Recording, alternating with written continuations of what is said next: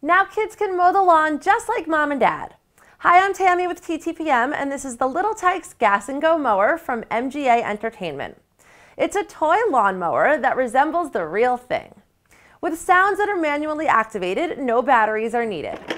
Kids can push the plastic mower to watch and hear the beads pop, pull the cord to hear engine sounds, and turn the key or move the throttle for clicking. There's also a removable gas can to pretend to fill up the lawnmower. Designed for indoor or outdoor use, we found that it works great inside, but have not tried it on grass yet. A guard in the back functions a little like a brake and prevents the mower from toppling over if a child leans on it. Recommended for 18 months and up, the Gas & Go mower feels sturdy and well made. It offers imaginative and role play to toddlers and preschoolers and will get kids moving as they pretend to help with the yard work. For where to buy and current prices, find us at TTPM and subscribe to our YouTube channel for more reviews every day.